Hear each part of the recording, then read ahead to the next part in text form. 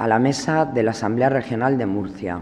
Severa González López, portavoz del Grupo Parlamentario Popular, Begoña García Retegui, portavoz del Grupo Parlamentario Socialista, y José Antonio Pujante Digman, portavoz del Grupo Parlamentario Mixto, elevan al Pleno la siguiente declaración institucional de la Asamblea Regional de la Comunidad Autónoma de la Región de Murcia sobre la declaración del Carnaval de Águilas como fiesta de interés turístico internacional.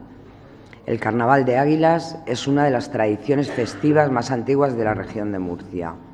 Si buceamos en sus orígenes, nos encontramos con testimonios gráficos de principios del siglo XX, concretamente de 1903, aunque si hablamos de fuentes históricas, llegaríamos a la fundación de Águilas en el siglo XVIII por parte de Carlos III, época en que se extienden por toda España los festejos del Carnaval de la Corte de Madrid, recogidos en el libro de Baroja referido a la historia carnavalesca española.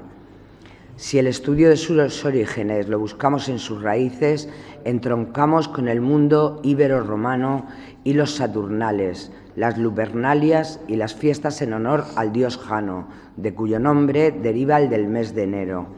Es decir, una tradición histórica que ha pervivido ininterrumpidamente hasta nuestros días, y ello ha sido posible gracias al esfuerzo unánime de todo un pueblo, representado por su corporación municipal las peñas carnavalescas y los vecinos, orgullosos de pasear el nombre de su ciudad más allá de nuestras fronteras, merced a la recién conseguida Declaración de Interés Turístico Internacional. Así, el Carnaval de Águilas, con sus peñas y sus personajes, la Musa, Don Carnal, Doña Cuaresma y la Musona, serán, a partir de ahora, fiel embajador de Murcia y sus fiestas en todo el mundo. Todo un logro de gran importancia, no solo para Águilas, sino para toda la región.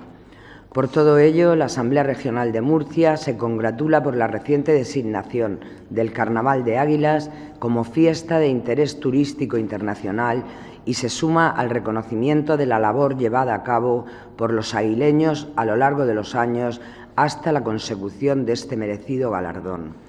Cartagena, 4 de febrero de 2015. Severa González López, portavoz del Grupo Parlamentario Popular. Begoña García Retegui, portavoz del Grupo Parlamentario Socialista. José Antonio Pujante Digman, portavoz del Grupo Parlamentario Mixto. ¿Aprueba la Cámara esta declaración? Gracias, señorías. Queda aprobada.